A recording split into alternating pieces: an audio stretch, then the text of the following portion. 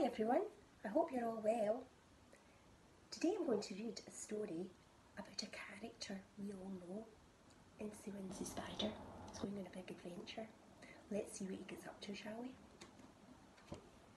Incy Wincy Spider playing on a farm, spinning silver silk webs high up in the barn. From an open window, a gust of wind blows. Whoo! And Incy Wincy Spider whoosh goes through. Incy Wincy Spider is flying. There he goes. He drifts onto a pink pig and dangles from his nose.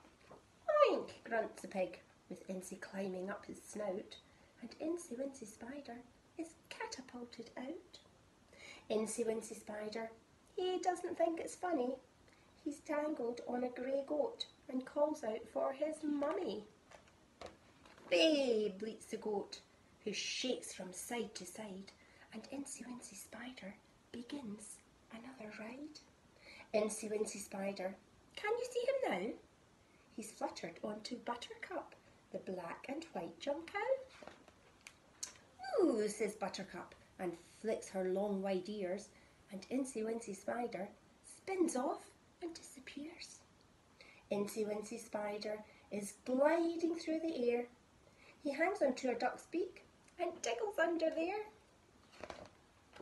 Quack!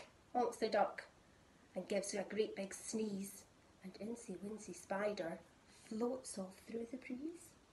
Incy Wincy Spider, what a dizzy day! He settled on a brown horse, chewing clumps of hay. Nay, snorts the horse and jumps up really high, and Incy Wincy Spider pings off through the sky. Incy Wincy Spider zooms past something red. He shoots out lines of silk web and sticks to Cockerel's head. The red and green cockerel crows cock-a-doodle-doo. But Incy Wincy Spider, where on earth are you?